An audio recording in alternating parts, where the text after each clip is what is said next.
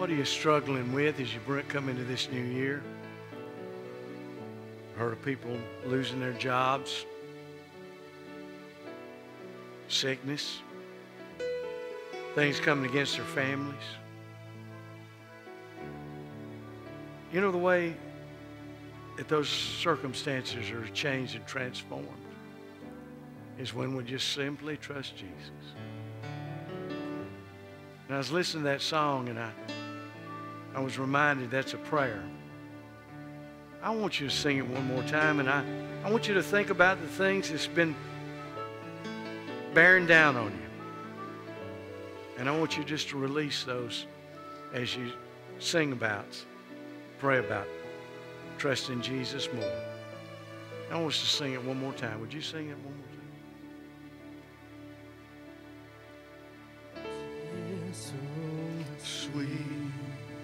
to trust in to Think about it. Just to take him at his word. Just to on his promise just to know the Lord. Give it up. Jesus, Jesus, how I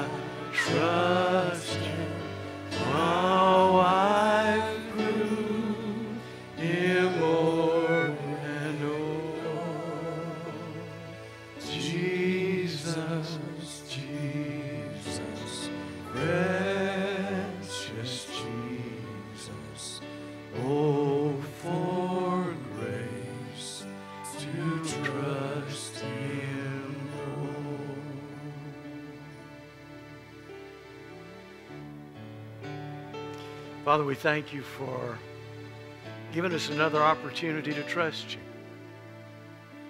Not to doubt you, but to trust you. Father, you've been so faithful to us year after year after year.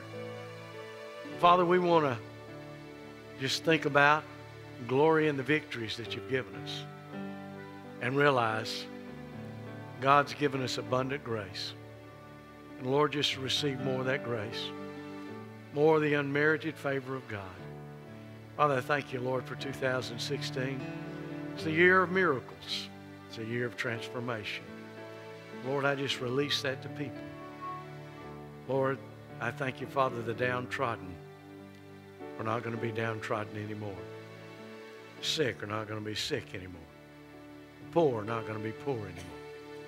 Father, I thank you, Lord, for changing lives as we do simply trust you. In Jesus' name, amen. Amen.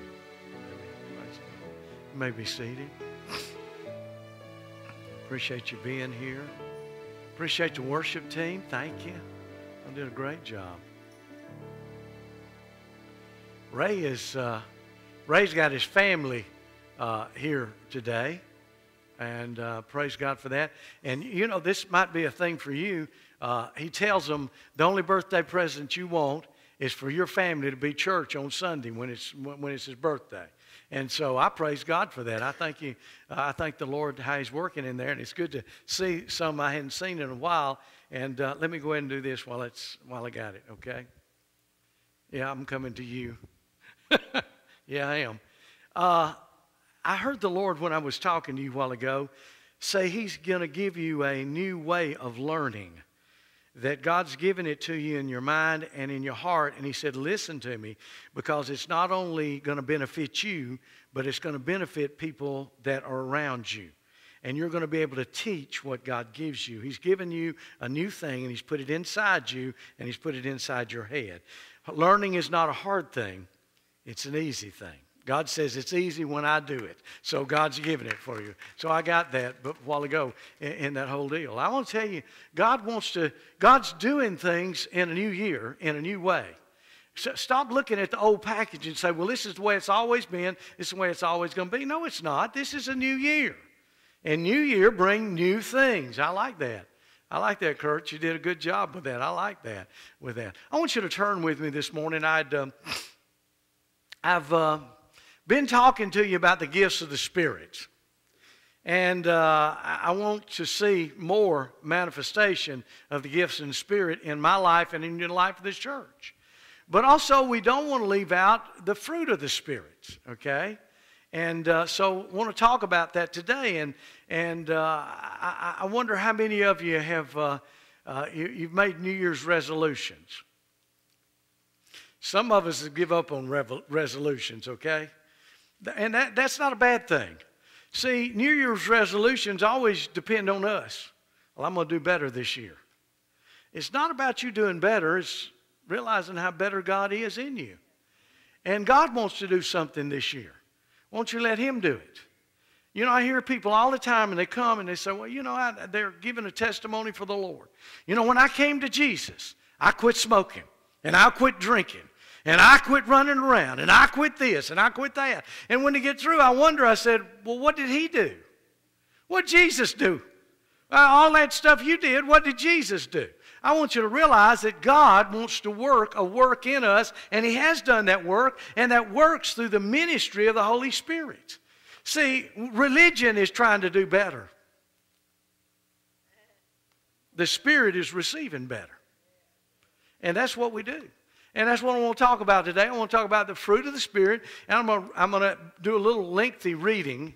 I'm going to read from a different translation, so maybe different for you. I'd rather you read it off the board because you can help me read it, and it will make more sense to you with this way. And I think Peterson does a great job in translating this, okay? It, translations are very important. And you can get a hold of some translations sometimes that don't quite give you the meaning that you need to have. So I want you to listen this morning, and I want you to hear what the Apostle Paul says through the inspiration of the Holy Spirit. He's talking to churches that he holds very dear. They're in a province, or if you will, a state, like the state of Alabama and all of these, uh, all, in, all through the state, there are different churches in different locations within the state. And, and, and, and the churches are the churches of, uh, of Galatia. And, and he speaks to them, and he speaks to them a message of freedom. If you read the, I, I love to read. I, I love, there's a couple of books that I just revel in. And I love the book of Galatians, well, I, a lot of them, Galatians, Ephesians, and, and Hebrews. I love those books. I, I, have been talking about uh, starting a teaching on Wednesdays, in the book of Hebrews, because I love that book so very much. Michael told me that uh, he wanted to do a preaching series in Hebrews one time, and I'm hoping he's still coming up with that. But I want you to realize that the Apostle Paul was a man of religion who found out what it was to have relationship. And he never went back to religion. As a matter of fact, he hated it. And he writes this letter to a church a church that started out in the Spirit. They got deliverance. Might have been from alcohol. It might have been from sickness. It might have been from family issues, but they got deliverance. They got saved. They got changed and transformed by the power of the Holy Spirit. And then Paul goes off and does some ministry somewhere else. And in the meantime, the religious people come in. And instead of allowing them to grow in the Spirit, they come in and bring the law back and they teach them to perform again. Can I tell you something? I don't perform too good. I'm not a circus animal. Are you listening to me? I hadn't been domesticated. I've been set free. And so have you. I got to get to the end of this. I can't keep going with this. I, Galatians chapter 5, Paul writes in verse 1 Christ has set, you, uh, has set us free to live a free life. I'm stopping there just a minute. I hope I don't preach all the way through this, but I'm going to try not to. Christ has set you free to live a free life. He didn't set you free to get a new set of rules. He set you free to be free. Okay? And, and I want you to take your freedom. Stop getting back into bondage again. So take your stand. Never again let anyone put a harness of slavery on you. How do they do that? By putting you under the law again. I am emphatic about this. The moment any one of you submits to circumcision or any other rule keeping system, at that same moment, Christ's hard won, uh, won gift of freedom is squandered. I repeat my warning. The person who accepts the ways of circumcision trades all the advantage of the free life in Christ for the obligations of the slave life of the law. I suspect you would never intend this, but this is what happens. When you attempt to live by your own religious plans and projects, you're cut off from Christ. You fall out of grace. Meanwhile, we expectantly wait for a satisfying relationship with the Spirit. God created you for relationship, to walk in the Spirit.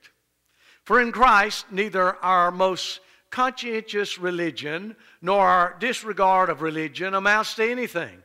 What matters is something far more interior faith expressed in love. You were running superbly. Who, who cut in on you, deflecting you from the true course of obedience? This detour doesn't come from one who called you into the race in the first place. And please, don't toss this off as insignificant. It only takes a minute, a minute amount of yeast, you know, to permeate the entire loaf of bread. When he's talking about yeast, he is not talking about sin. He's talking about legalism. He's talking about working your way out of it. Deep down, the Master has given you confidence that you will not defect. But the one who is upsetting you, whoever he is, will be, bear the divine judgment. As for the rumor that I continue to preach the ways of circumcision, as I did in those pre Damascus Road days, that's absurd. Why would I still be persecuted then? If I were preaching that old message, no one would be offended if I mentioned the cross now and then. It would be so watered down, uh, so watered down, so watered down in it, wouldn't matter one way or the other. Listen, we're not preaching the cross, grace, and we're not preaching law. If you preach law and grace, you negate both.